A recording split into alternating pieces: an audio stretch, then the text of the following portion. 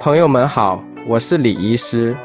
秋天来了，天气转凉，大家都想吃点热乎乎的饭菜暖暖身子。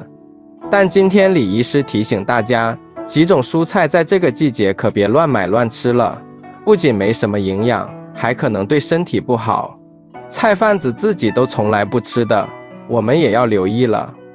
第一种，黄瓜。黄瓜看起来水灵灵的，其实水分大，口感脆，夏天吃起来非常爽口。但是到了秋天，它就不那么靠谱了，因为秋季气温下降，黄瓜生长周期变慢。为了保证产量，不少农户会加大农药使用量，这就导致了秋黄瓜表面残留物增多。而且随着温度降低，黄瓜里头的维生素 C 含量也会减少。营养价值就打了折扣，所以秋天我们还是少吃点黄瓜。第二种，西红柿。说到西红柿，大家都知道它富含番茄红素，抗氧化效果很好。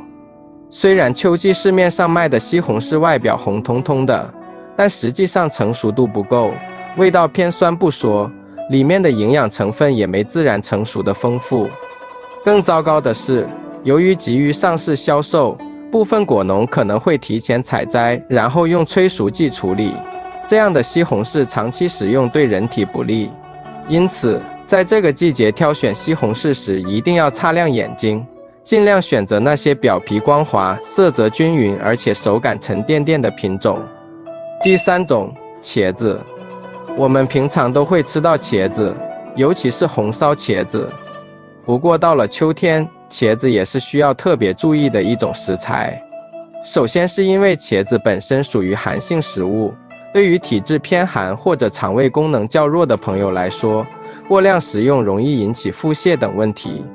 再者，有些不法商贩为了延长保质期，可能会给茄子喷洒保鲜剂，这些化学物质一旦摄入过多，肯定对健康没好处。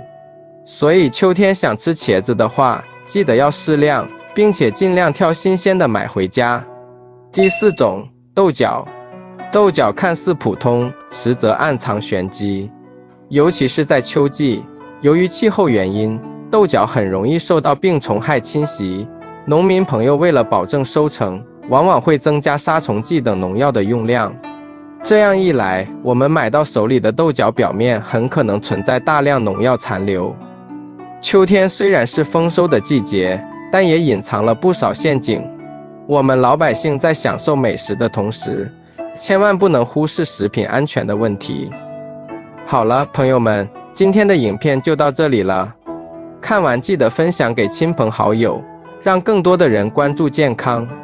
我们明天见，感谢大家的支持。